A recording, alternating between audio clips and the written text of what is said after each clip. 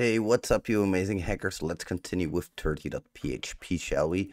So for this one, we are in another context again. We are in the HTML tag attribute context, and this is often displayed with the value for an input. Now, what do I mean by that? If I go and inspect this source code right here, and of course this time I cannot forget to enlarge it a little bit, we can see that we have an input tag with a value for John.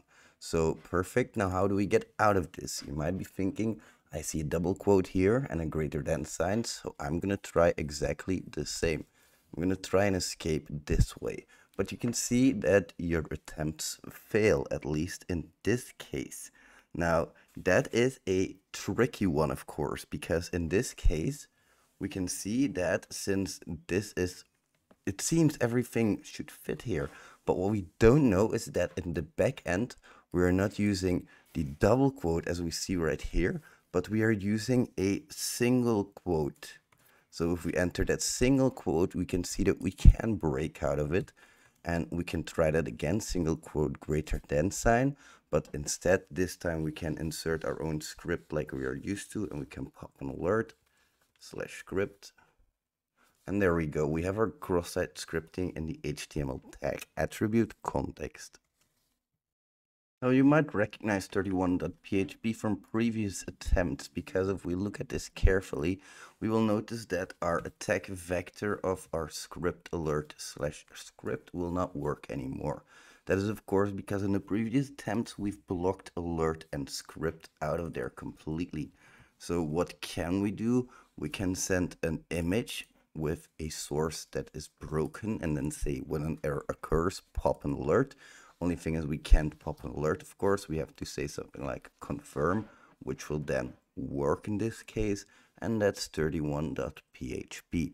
So just in case you missed that because it was a little bit fast, single quote, greater than sign, then you insert your broken image and you can pop a confirm, not an alert.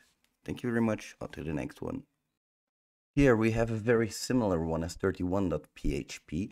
32.php is going to block a number of things such as the script, the alert, and in this case also the confirm. So if we enter this attack vector, we see that we don't get a pop-up. Now, if we do replace this confirm by a prompt, however, we will get a prompt pop-up. That's because, of course, I want you guys to stop using uh, confirm alert. I want you to uh, stop using script. All of these basic words that will be filtered out very, very easily. And in 33, we have the same as in previous series. We used to have so that the uh, uppercase characters got filtered out, but, or, or I mean that the uppercase characters didn't get filtered out, but in this case, our uppercase characters do get filtered out. So it's a little bit the same as previous ones. This one will work with previous attack vectors, but it's only because uppercase attack vectors no longer work here. And in 34.php, we have largely the same thing. We will see that if we enter a greater than sign in this case, and some of you might have already seen it, that my greater than sign gets completely filtered out. Now I can still get by this by using HTML entities, like you guys might have already seen. The ampersand greater than ampersand GT is basically one of those characters. Now, previous filters still apply, so you have to use a prompt here. You cannot use alert, you cannot use confirm. It will not work. You have to use your prompt here. As we see, we get our prompt pop-up in the HTML tag attribute with some filters applied on the greater than sign as well. Now if we test on 35.php, it seems that no matter what we try, our previous attempts are not working anymore. Now this is because I've been a little bit of a sneaky rat and I've replaced the single quote with a double quote in this case. Yes, yes, a little bit of a sneaky red. There we go. When we try that, we can exit our HTML tag attribute.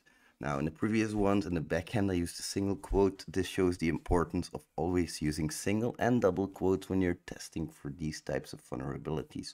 Throw a backtick in there while you're at it.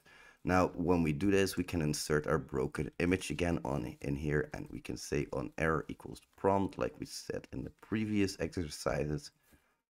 And as you can see, we get our prompt to pop up.